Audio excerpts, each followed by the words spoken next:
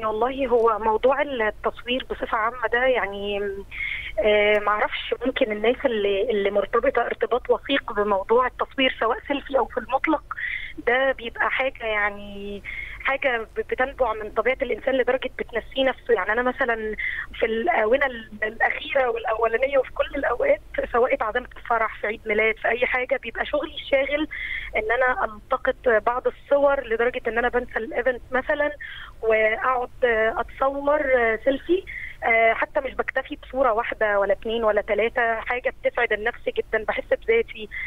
حتى يعني بنتناقش كثيرا أنا وزوجي في موضوع التقاط الصور إنه ده قد يعني يجلب بعض المشاكل أو أو ولكني بحس إن أنا مرتبطة ارتباط وثيق يعني بموضوع تخليد الذكرى إلى حد ما أو لكن يعني لماذا تشعرك هذه الصورة بذاتك. بدلا من أن تتمتعي باللحظة ذاتها بدلا من أن تتمتعي بالحدث خاصة وأنك تشيرين إلى أحداث إيجابية يعني فرح تجمع عائلي.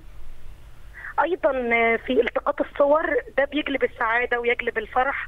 إني أنا بشوف الصورة أو بتحسي بذاتك بجمالك أو الصورة بتبقى حلوة أو يعني أنا ما أعرفش أنا بربط دايما التقاط الصور بالشخصيه نفسها. يعني أنا مثلا بحب أشارك الصور دي على ال social media مع سواء على الفيسبوك أو على الانستجرام أو أو أو هو ده بيبقى أهم عندي من ال ال ال الحدث نفسه أو يمكن بيذكرني بالحدث على المدى يذكرك أم لإثارة التنافس مع نساء أخريات كما تتحدث هذه الدراسة.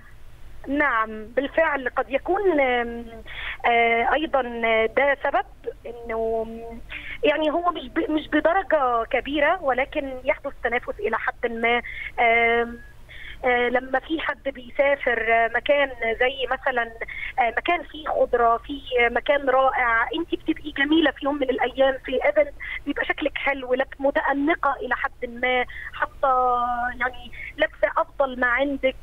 مثلا صديقة ليكي بتروح المكان ده فبتحسي بروح من من إنك بتتمني أيضا لو كنت انت في نفس المكان فبالتالي أول ما تتاح ليكي الفرصة بتلتقطي الصورة اللي اللي بتتيح فرصة التنافس يعني.